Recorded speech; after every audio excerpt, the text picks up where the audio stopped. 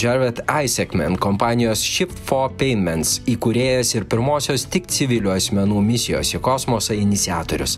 Jaredas į savo ribotą daiktų sąrašą įtraukė ir Lietuvos vėliavą, kurią išskleidęs rekordinėme aukštyje išreiškė padėką ir pagarbą mūsų šaliai.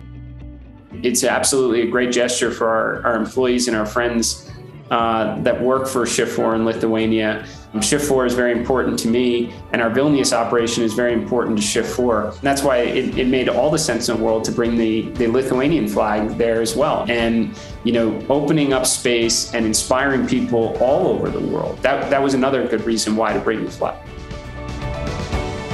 to me, you know, we have a, a great relationship um, with Lithuania. This is what we, the location we chose to expand outside of the United States as our technology and research and development hub.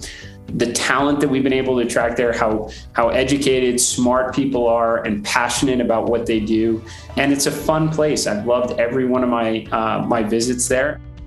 Yeah, I just want to express how thankful I am, uh, really, uh, all the way to the, the president of uh, Lithuania, the uh, Global Lithuanian Leaders Organization, so and, and really all the Lithuanian public. Uh, I really, really appreciate it, and uh, you know, you have a friend in Lithuania for life, and I can't wait to come back and, and visit again and, and be with all our friends that we have there in, in Vilnius. Už kosminį meilės Lietuvai išpažinimą globalios Lietuvos apdovanojimas Jared Isaacman.